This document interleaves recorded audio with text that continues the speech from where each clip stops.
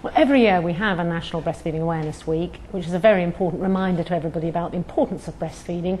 Breast milk is a very important protection against infection, and it is just the natural food, the appropriate food for the growing infant. And of course, this year, what's new is the introduction of the new UK WHO growth charts, which are based for the first time entirely on breastfed infants. Collecting data only from healthy infants living in ideal nutritional circumstances by that we mean that they were breastfed, that their mothers never smoked, and that they were living in non-deprived circumstances.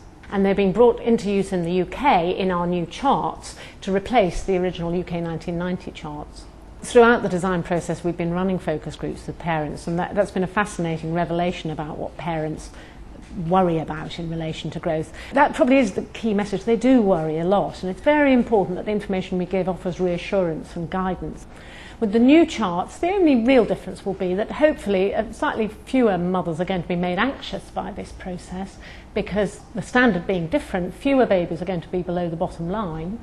Well, what we call the Red Book is actually the personal child health record, and in some districts it's not red at all. And this is given to parents when their baby's born to allow them to track them through all their health checks and weighings for the first four years. And the new charts are going to be included in these books from now onwards for all new births. When parents go to visit their health visitor to have their baby weighed, then the weight's collected and then the health visitor will plot it in their red book and discuss what they've found. The important thing to understand about these charts is they're designed for all infants, wherever they're from, whatever their ethnic origin, because these are charts that are suitable for all children the world over, and they give all parents guidance about how their child should ideally grow.